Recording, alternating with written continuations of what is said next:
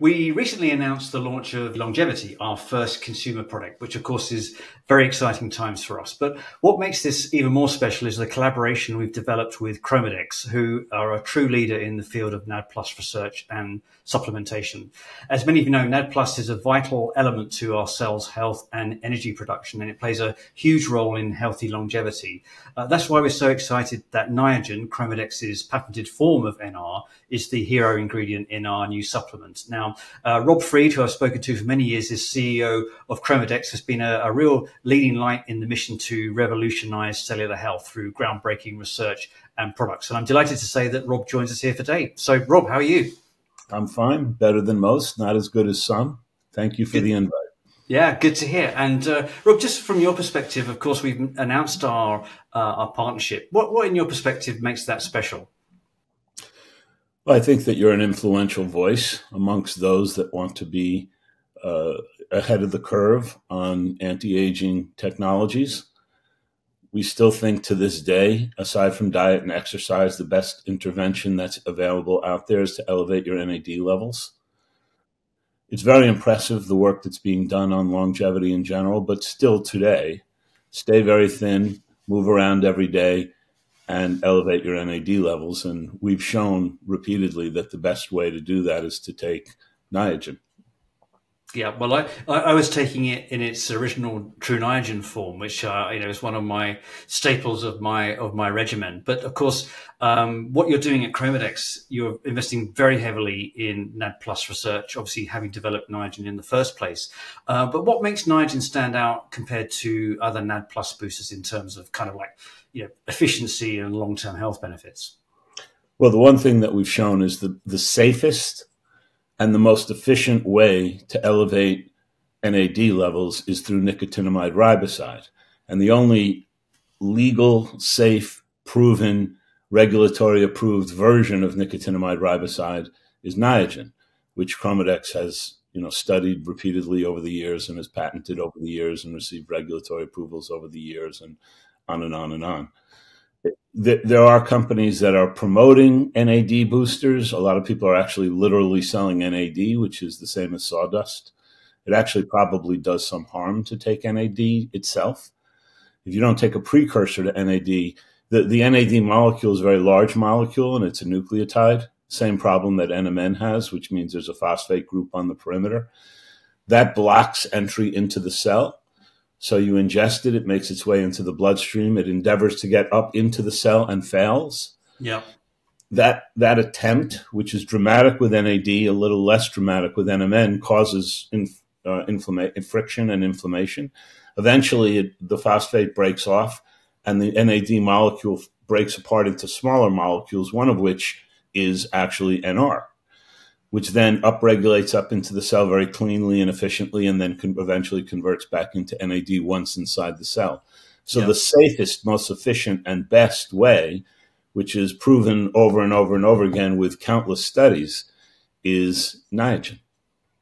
So let's let's talk about um, uh, NAD plus research and kind of where the future of that is heading, especially in relation to new developments in aging science, because you guys have got a lot of studies going on, right?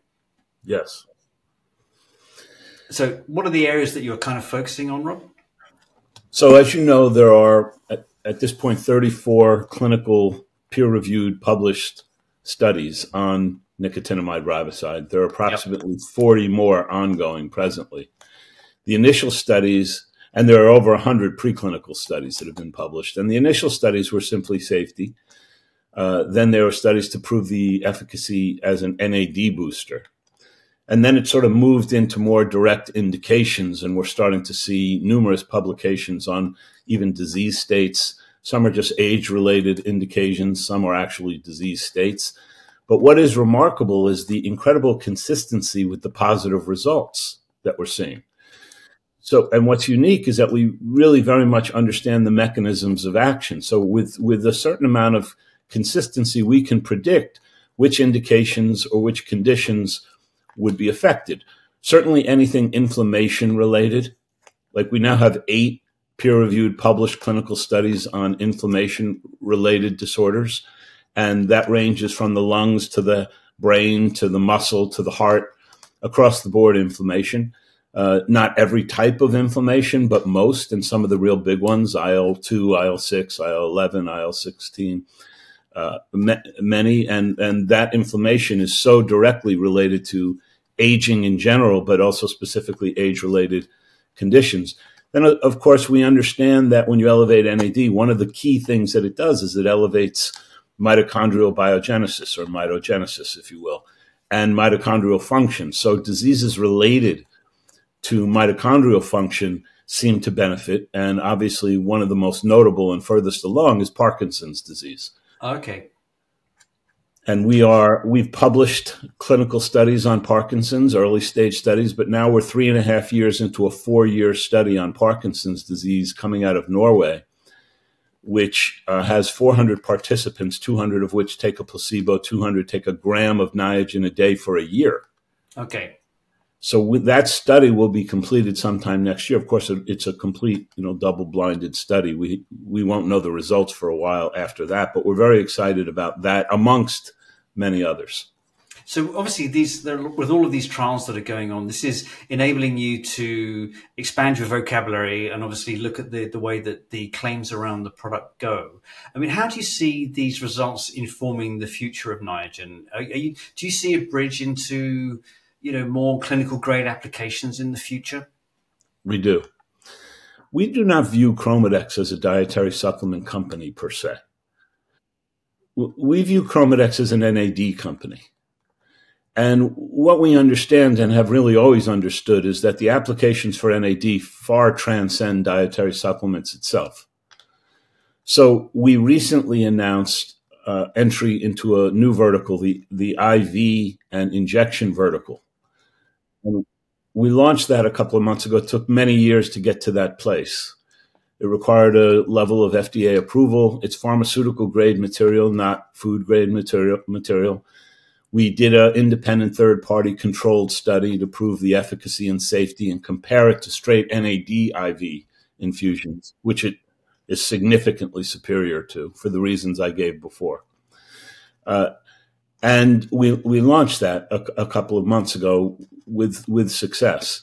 But in the future, we see actual endeavors into a, a pharma strategies, actual pharmaceutical. And we uh, earlier this year received a rare pediatric designation and orphan disease designation for ataxia telangiectasia, a form of ataxia, an okay. orphan disease where children age quite rapidly. And we already have one clinical study published that shows Niagen has a therapeutic uh, benefit for these kids, these kids with this unfortunate disorder. So that's a, a high priority for us, and we are pursuing that uh, as a uh, as a drug. We also know that there are benefits in the in the cosmetic area. You know, uh, skin cells have NAD as well, and we have uh, plenty of data to support the thesis that elevating NAD in skin cells will improve on many levels: elasticity, age spots, uh, actual brightness, if you will uh, and, and, other things. So we see that as an area for us. And what Chromadex has positioned the company where we could supply the ingredient to certain very select partners, such as yours, such as you. Uh, and we have our own brand, True Niagen. So we yep. will take it market by market, channel by channel. But the long term vision for the company is to be to continue to be the premier NAD company in in multiple verticals we anticipate that the more the general public becomes informed about NAD and the safest way to manage your NAD levels, the more they like uh, Chromadex. Yeah, and I guess just to, you know, obviously there's a, a, lot of there's a lot of issues recently about what's been happening with with NMN specifically in the in the US market. What, what's your commentary on that, Rob? You know, what should people be doing in relation to that? We think NMN is an effective way to elevate NAD. It's not nearly as effective as Niagen, but it still works. Years ago, we knew that. Um, there is the issue that it is also a nucleotide, and so there are now three studies out there that question the safety of NMN. Um, there was a study that came out recently uh, and showed that NMN had an, a, a, negative impact on an enzyme called CD38, which is a, a big NAD consumer, whereas Niagen was not. Um, there's also been a, a, kidney study out there which is troubling uh, about NMN. It, it, it, so it, does work in elevating NAD. We're, we're, not confident about the safety of NMN, but what we also know, and um, David Sinclair has even shown this, is that be, the way NMN is manufactured, mostly overseas, outside the U.S., mostly in, in Asia, uh, we see the presence of endotoxins because of the manufacturing presence. So that adds another safety level. When we started here, we knew about the drug preclusion rule at the FDA. Okay, you knew about that when it was there. Absolutely knew about it, and all right, we considered NMN as something that we would invest in. In fact, ChromaDex has a patent on NMN. We chose not to pursue NMN partly because we knew Niagen was better. And why pursue another ingredient that doesn't work as well as Niagen? But also because we knew that Metro Biotech, which is one of David Sinclair's companies, had already begun doing research on NMN for drug application. And the, and the DSHEA rule is quite clear. It, it quite clearly says that if you take an ingredient and you start as a drug, you cannot then pivot to a supplement but if you start as a supplement, you can then pivot to a drug.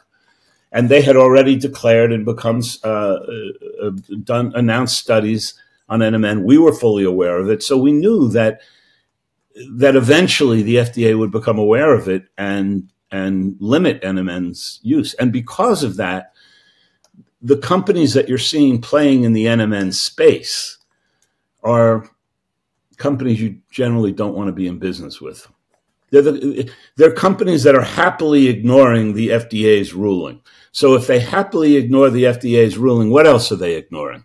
Yeah, no, that's understood, Rob. And of course, you know, we we've known each other a long time, and of course, it's for us, it's a uh, an absolute honour to have uh, Niagen as a key component of our of our products.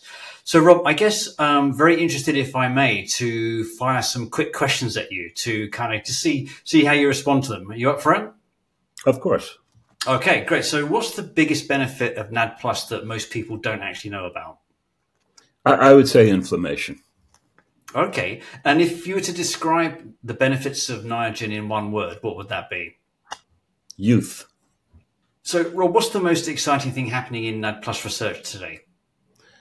I would say the Parkinson's research. We don't know the results, of course, uh, but we know the early stage studies uh, and we understand the mechanisms of action. There are many, there are millions of people who suffer from Parkinson's disease, and there really is only one drug approved to this point.